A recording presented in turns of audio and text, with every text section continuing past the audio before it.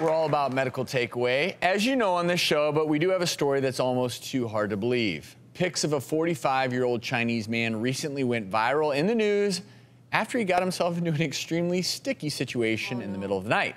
All he wanted was to use his eardrops to relieve an itch that was bothering him. He couldn't sleep, but he grabbed the super glue instead. Oh, God. And filled his ear with super glue.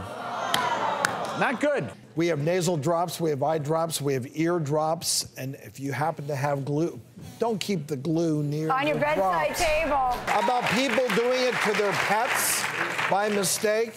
What? The good news is with this gentleman, he did fine. they elected to just leave it and let the skin Right. sort of grow Slough and, off and- like and slough snake. on, on itself. If you had tried to pick it off, ow. it would have taken the skin off and potentially the ear canal. Really, really good takeaway, Drew, for people because if you super glue something that you shouldn't, it doesn't necessarily mean let's get it out of there as quickly off. as possible because you do more damage in that way.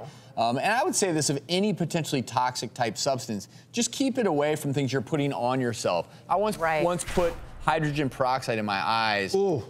Um, I was at Stop. I was at a friend's house and my eyes were bothering me. I just reached in and my eyes I was having trouble seeing and it was in you know basically what I thought was just saline squirted into my contacts and it was as searing a pain as I've ever. It was crazy and I was worried for quite some time what was going to happen to my vision.